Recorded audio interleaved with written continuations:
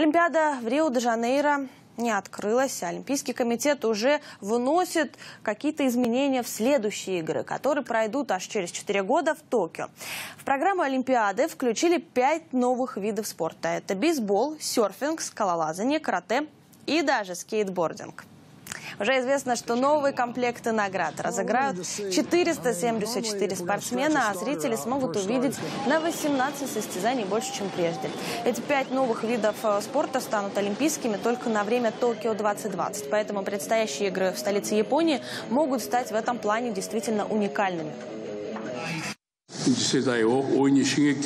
Мы надеемся, что дополнительные спортивные состязания стимулируют интерес молодого поколения, и это будет служить примером для будущих Олимпийских игр.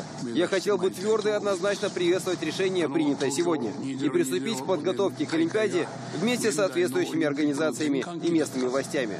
Надо сделать так, чтобы люди запомнили наши игры и сказали, что Токио 2020 был поворотным моментом в современном олимпийском движении.